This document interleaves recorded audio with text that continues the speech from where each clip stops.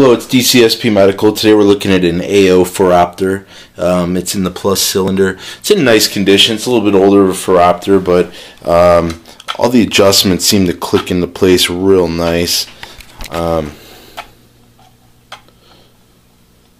could definitely use a cleaning. Um, no question about that.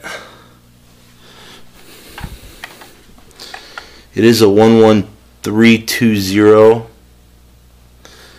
as I did mention, it is in the minus uh, cylinder. If you have questions or want more info, feel free to email me through the email address below.